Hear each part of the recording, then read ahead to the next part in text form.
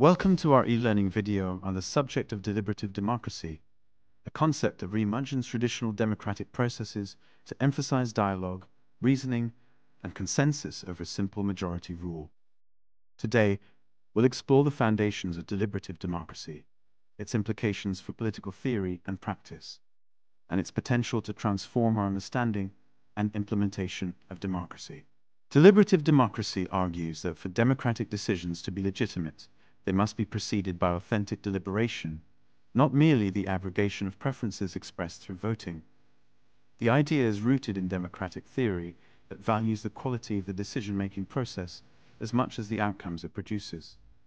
It focuses on the process by which decisions are made, suggesting that a truly democratic decision must come from a public discussion where participants are on an equal footing, and rational arguments can be made and heard. At the heart of deliberative democracy is the principle that political decisions should be the product of fair and reasonable discussion and debate among citizens.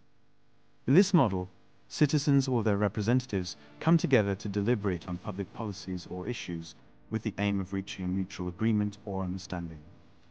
This emphasis on rational discourse is meant to enhance the legitimacy and moral quality of the decisions made. The political implications of introducing deliberative democracy into modern governance are profound. By encouraging dialogue among diverse groups, this model fosters a more informed and engaged citizenry. It promotes understanding and respect for different viewpoints, which can lead to more stable and acceptable policy outcomes. Moreover, deliberative democracy can bridge the gap between citizens and their governments, enhancing transparency and trust in political processes. Implementing deliberative democracy often involves various practical methods such as citizens' assemblies, deliberative polls, and participatory budgeting sessions. These platforms allow ordinary citizens to discuss and influence policy decisions that affect their lives. For instance, citizens' assemblies gather a representative sample of the population to debate issues like climate change, electoral reform, or social justice, and their conclusions can inform broader governmental decisions. However, while deliberative democracy holds much promise, it also faces challenges.